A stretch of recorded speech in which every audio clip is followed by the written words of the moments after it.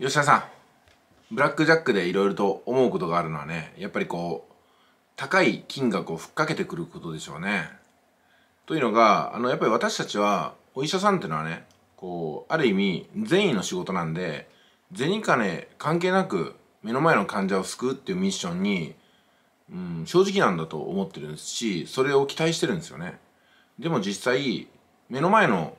人を救えたとしても次の人を救おうと思ったら何がしかの対価がないと研究もできないし機材も買えないですよね。そう考えた時に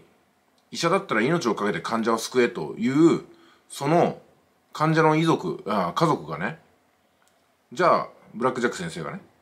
じゃあお前らはこの患者さんにいくら払えるんだと。1000万2000万が高い金額だと思うか。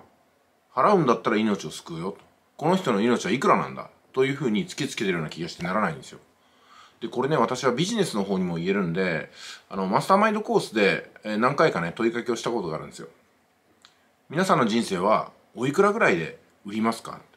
おいくらぐらいであなたは買いますか ?3000 万でしょうか ?5000 万でしょうか ?1 億円あったらあなたは自分の人生を買いますか？どうでしょうか？っていうふうに聞いたりするんですよね。まあ、そうすると、中にはね、10億だとか20億だとかいう人がいるんですけども、じゃあ自分の人生が10億だとしたら10億稼ぎに行きましょうよ。その10億で自分の人生を買い取ってみましょう。自分の人生が命が10億だというならその10億をあなたの命で稼いでみてくださいと。でも逆にですね年収300万の暮らしをこのまま続けるんだったら10年で3000万30年で1億円もいかないんですよ。あなたの人生は1億もいかないんですか安い人生になっちゃいますよと。自分の人生の値段は自分でつけるんですよ。うん、こういうふうなね問いかけがあってもうちょっと厳しいことも言ったんですけども柔らかく言えばこんな感じなんですよ。これはあのブラック・ジャックというねその漫画からヒントを得たと言ってもいいんですけども確かに自分の命が助かるならあなたはいくら払いますかとかね自分の大切な人の命がもし助かるならあなたはいくら払いますかって言った時にさあどうでしょうか私はですね自分の命を引き換えにしても救いたいなっていうことを以前言ったと思いますけどもこれはどういうことかっていうと例えばね自分自身に保険金をかけて、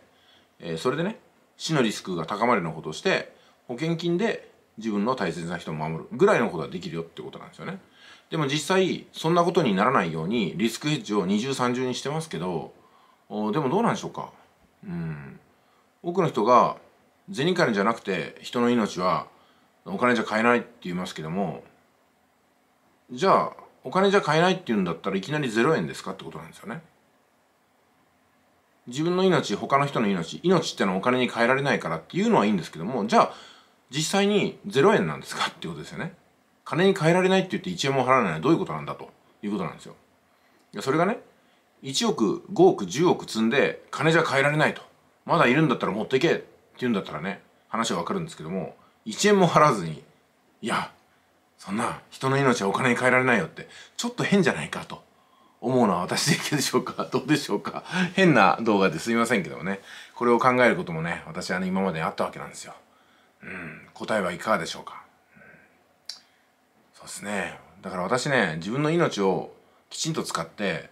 まあ、せいぜい10億ぐらいは稼がないと自分の命に対してね申し訳ないなっていう気持ちがありますね。そのぐらいはやっぱり作っていきたいなと思います。まあでも私に対して私が思ってるだけですからね。他の人にもどうこうしろってことはありません。ただ求めるなら1億2億の稼ぎ方なら教えていくことができます。じゃあいってらっしゃい。